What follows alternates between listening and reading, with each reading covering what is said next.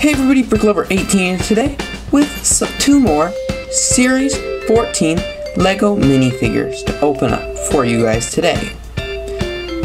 I opened up two already and these are the two that I got and you can check out that video in the cards.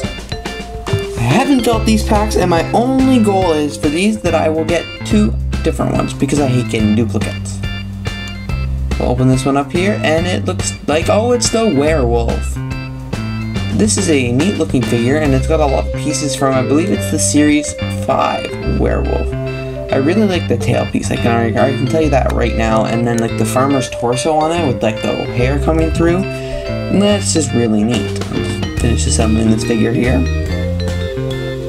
Try and put the bone on the hand, man I never have luck getting these bones. Still can't do it. But I finally got it. The next pack is anything but those three minifigures that I already have. Again, no feeling, I just hope it's not another werewolf or one of the other figures. And it is the Pirate. I've always been a pretty big fan of Pirate, so this is a pretty cool minifigure. I, right now I can already tell you I like the look of the minifigure with the one pant leg and the one like peg leg, which is kind of cool. We have the beard here, and the head's actually kind of creepy. I wish it was like a normal head, but it's like a zombie pirate head.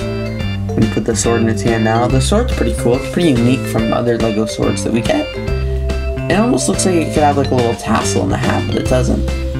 Thanks for watching the unboxing of these two Series 14 LEGO minifigures, and I hope you enjoyed them. If you want to check out more of my Series 14 LEGO minifigure unboxings, please check the cards as I have like a, another video.